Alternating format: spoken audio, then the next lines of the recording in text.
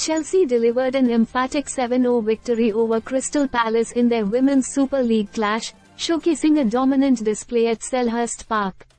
This triumph highlighted the gap between the WSL's elite teams and newly promoted sides like Palace, who were making their WSL home debut.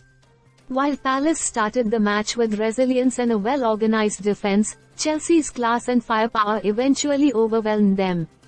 The first half saw Palace put up a commendable fight, with Indiah-Paige Riley even coming close to shocking the visitors with a well-timed effort. However, Chelsea's patience paid off when Aggie Beever-Jones broke the deadlock late in the first half, capitalizing on a clinical cross from Johanna Rytting-Kaneryd. That goal was a turning point, and despite Palace's efforts to level, they couldn't convert their few chances into goals.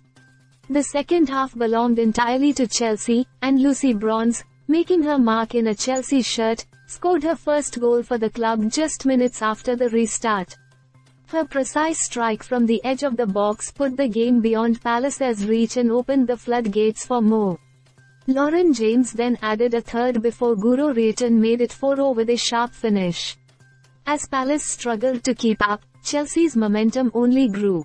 Nathalie Björn and Reiten continued the scoring spree, with Reiten netting her second of the day. By the time Catarina Macario struck the seventh and final goal, the difference in class was apparent, and the result became a statement win for Chelsea.